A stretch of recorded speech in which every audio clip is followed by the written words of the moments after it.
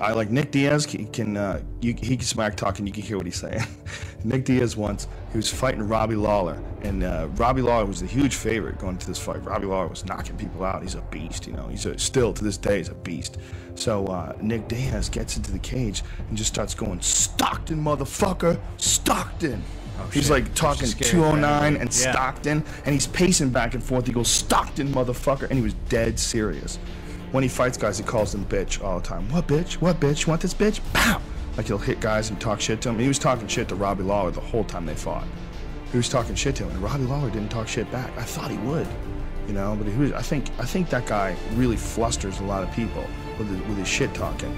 You know, like when, when he was uh, fighting Frank Shamrock, Frank Shamrock said it best. He was like, I can't, like he was doing it, and I, he can't believe he's doing it while he's doing it. Like, is this guy really talking this much shit to me? He's a fascinating cat, man, because he does fucking triathlons. Like he's really into doing like high endurance shit and he gets super baked and then rides his bike and swims and, and runs. His endurance is ridiculous. He's got like Ironman triathlon endurance. That's why one of the reasons why he fucks guys up. He just puts a pace on them that they can't keep up with him. Yeah. It's just like he's running with them. He just makes them run at his pace, and then before you know it, they're wilting, and he's beating the fuck out of them. Mm-hmm. You know, he does that to everybody, man. Did it to Paul Daley, and he puts himself in danger to land shots.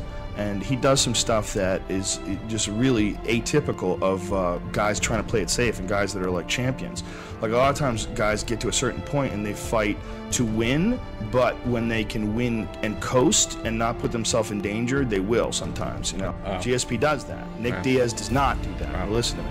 I think Nick. Nick- no, when Nick Diaz just fought um, his last fight, he fought uh, a serious fucking dangerous striker. This guy Paul Daley, and Paul Daley does not have a good jiu-jitsu game.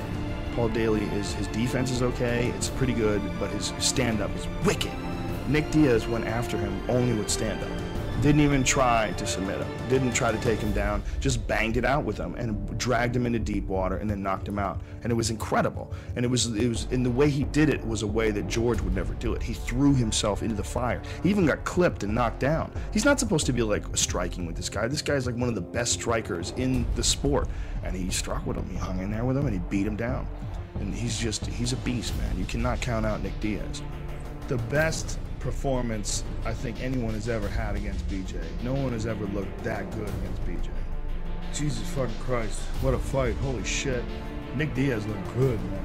God damn, did he look good? I mean, he just boxed him up, standing up, man. Just boxed him up. And the, the pace that Nick, Nick Diaz makes you run with him, he makes you run at his pace, you know. And his endurance is just on some wicked level, man and he forces this pace and fights guys, you know, using sharp boxing where he doesn't hit you with full blast shots.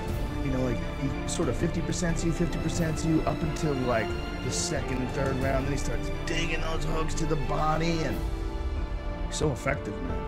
He's so effective. What's up, Train by day, Joe Rogan podcast by night, all day. Nick Diaz, ladies and gentlemen, give it up